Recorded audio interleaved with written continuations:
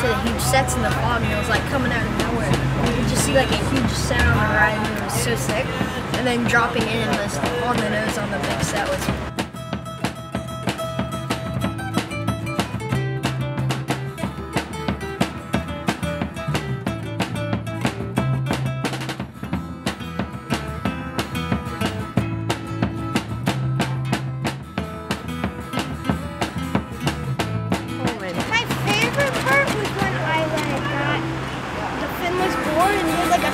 60